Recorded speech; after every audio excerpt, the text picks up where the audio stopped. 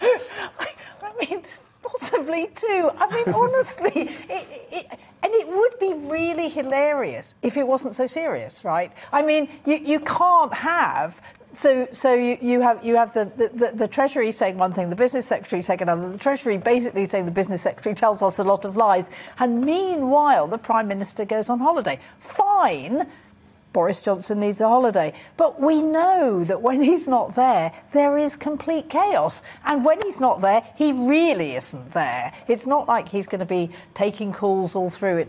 It is, I mean, it, it is appalling. And the worst thing is, of course, is they knew about this for weeks. It's, this isn't this isn't a crisis that happened yesterday. This is something that's been building up that, that the energy firms need, they need to know where they are. If the government is going to say, well, we're not bailing you out, we're not going to help you, we're not going to do anything, then say it. But this, yes, yes, we'll help, and then no, we're not going to do anything. Where are we? I mean, this is, I mean, you know, this is this is like a banana republic. it is terrible.